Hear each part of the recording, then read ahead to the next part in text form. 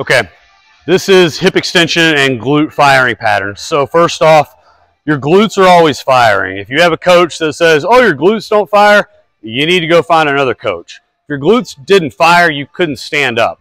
But that doesn't mean that the glutes are firing in the order in which they need to. So hip extension, so here, okay, or walking or jumping, all that extension of the hip, the firing pattern should always be glute, hamstring, contralateral quadratus lumborum, or opposite lower back essentially. Glute, hamstring, opposite lower back. Now, sometimes that pattern can get out of whack. And when that happens, then we will see different things like, you know, lower back fatigue or, you know, hamstring pulls or all kinds of different things. Um, so it's essential that we identify is the firing pattern out of whack and then what is ultimately creating that problem. Um, and we will get into that element of it in video two. So the first thing we'll do is we can literally check the glutes here. So let's start uh, on your left leg. So bend your knee, okay, and lift your leg up. Okay, hold it right here. I'm gonna push down, hold. So you can visibly see how weak that one is. Let's see this one. Bend your knee, lift up, okay, hold. You can clearly see the difference here.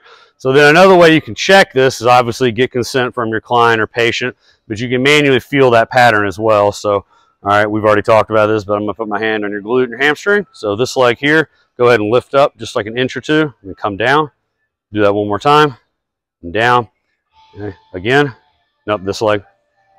Down, again, down, one more, up, okay, down, okay. So what you can feel, what I can feel with this one is she's actually going um, QL hamstring glute, QL hamstring glute.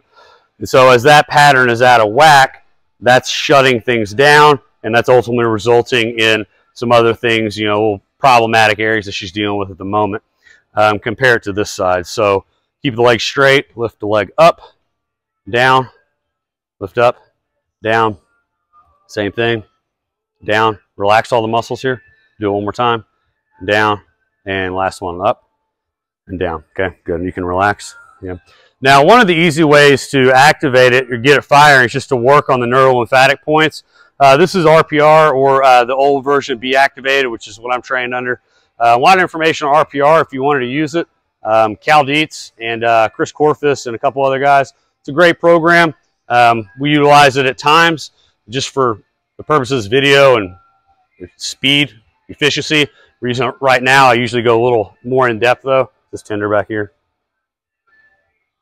Yeah, a little bit there. Okay. Give me like 10 seconds.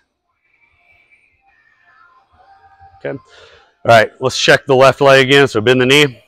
Okay, lift your leg up. Okay, bend the knee a little more. Okay, hold it there. Don't let me push. Good. So that's clearly a lot stronger. Um, now let's check the pattern. So keep the leg straight. Lift the leg up just a little bit. Down. One more time. Good. And you can immediately feel the glute start to do its job again. Um, so this is video one of how we would attack a hip extension issue.